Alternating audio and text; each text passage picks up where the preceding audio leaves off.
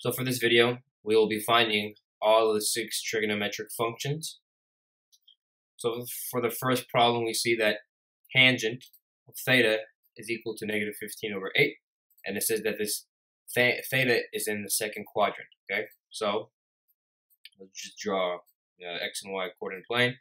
We know that in the first quadrant, all of the trigonometric functions, so sine, cosine, tangent, cotangent, cosecant, and secant is all positive. In the second quadrant, we know that only sine and uh, cosecant is positive, which the rest is negative, and we know that the third quadrant, that only tangent and cotangent is positive, and the rest are negative. And finally, for the last one, we have cosine and a secant is positive only, and everything else is negative. So a way to remember this is all students take calculus.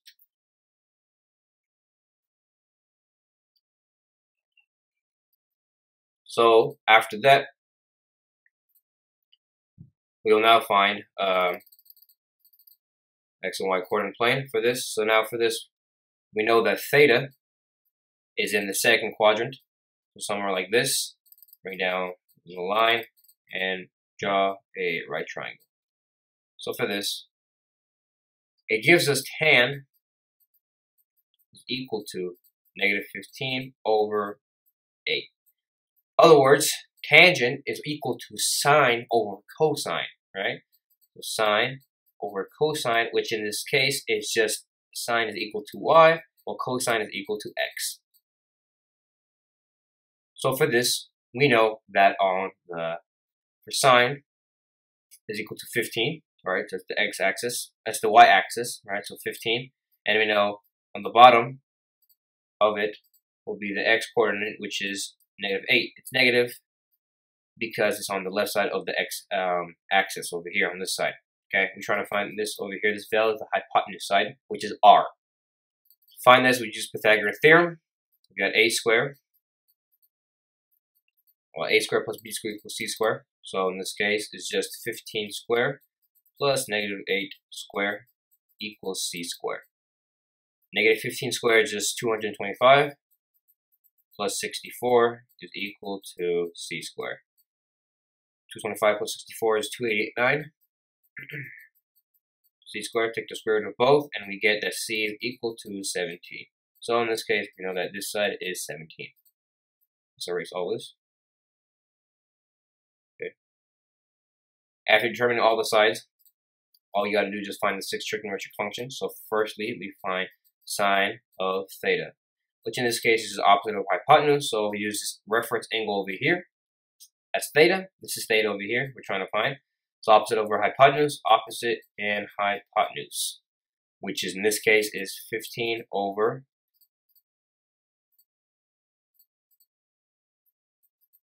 Seventeen. Next, to find the cosine of theta, adjacent over hypotenuse. So adjacent over hypotenuse is negative 8 over 17. Okay. Find the tangent of theta. We don't need to. It's already given to us. And tangent of theta is just negative 15 over 8. Okay.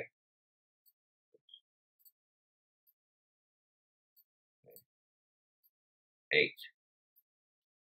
Next is just to find the reciprocal of these. So the sine of reciprocal of sine is just cosecant, right? Cosecant of theta. In this case, is just the reciprocal of sine. So it will be 17 over 15. All we did was just flip it. Reciprocal of cosine is a secant.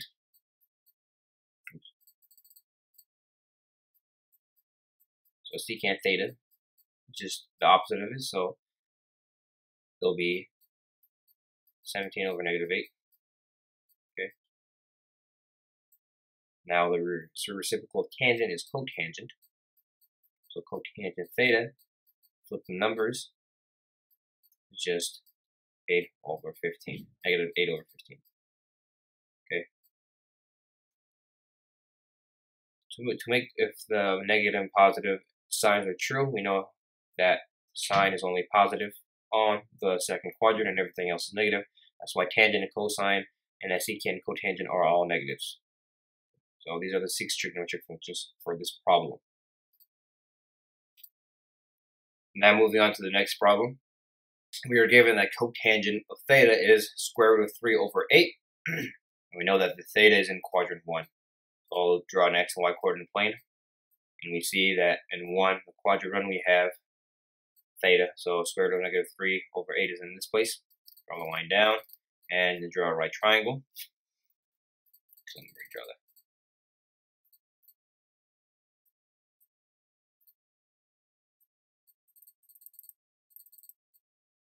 Right triangle.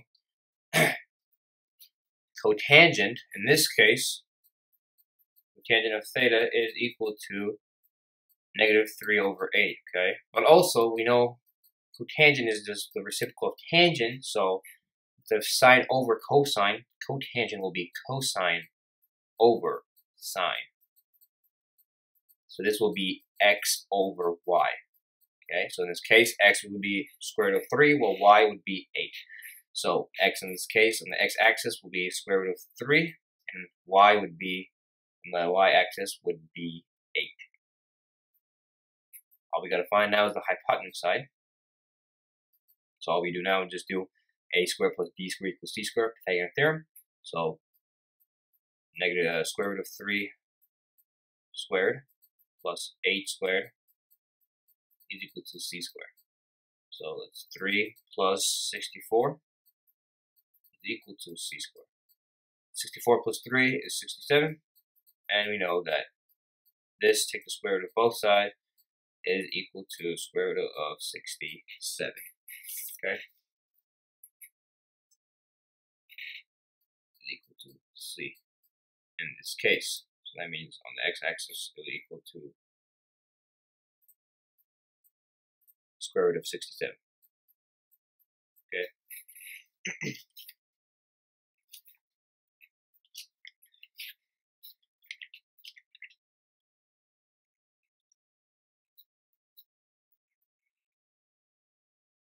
For this now, all we do now is find the six trigonometric functions, which in this case, summarize everything.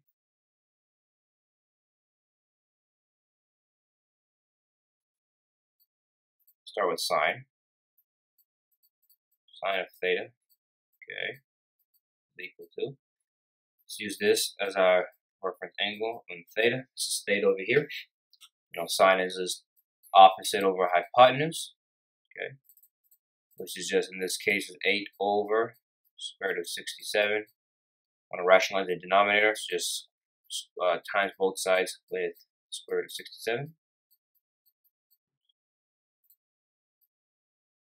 Okay, in this case, we will get as 8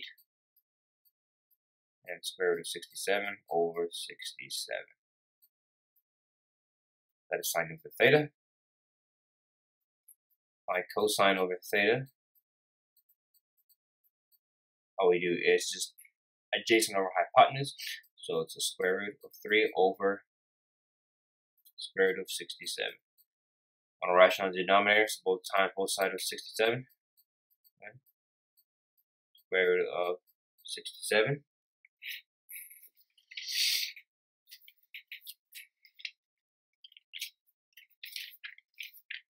we get an answer as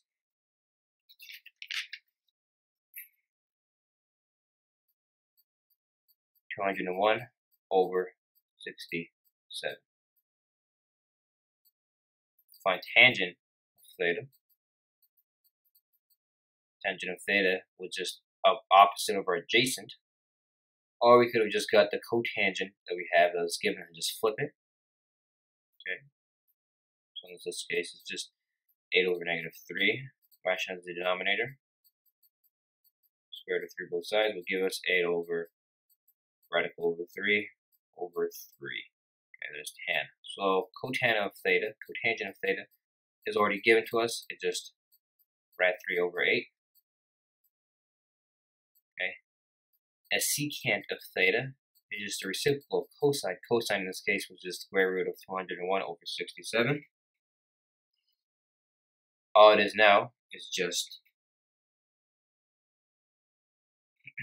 take the reciprocal of that. So flip it actually, instead of flipping that, we'll flip the original one so over here. Just writing that. So cosine in this case was just uh, square root of 3 over next square root of 67. Take the reciprocal of that would just would be square root of 67 over square root of 3. Let's rationalize both denominators. Times by square root of 3. This will give us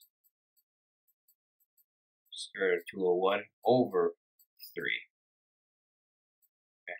Finally, last but not least, applying the cosecant of theta. In this case, cosine of theta was over here, 8 over square root of 67. So just flip it, would just be square root of 67 over 8. Don't need a rational denominator, that is the answer. And these are the answers for the six trigonometric functions for this problem. Again, all of the answers was positive because it was in the first quadrant, which all trigonometric functions are positive.